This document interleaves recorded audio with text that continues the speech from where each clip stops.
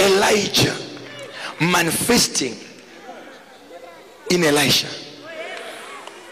It's no longer you pretending to be me. Is it there are some people? That's no wonder you get some people to speak the same way I speak.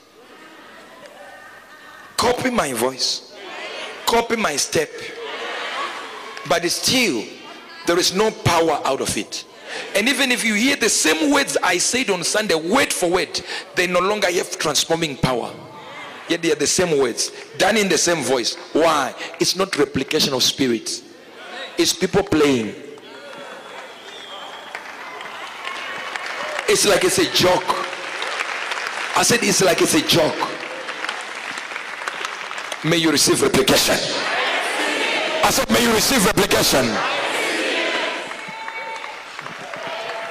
May hunger not touch your house. I said, may hunger not touch your house. Whatever does not touch my house, may it not touch you. So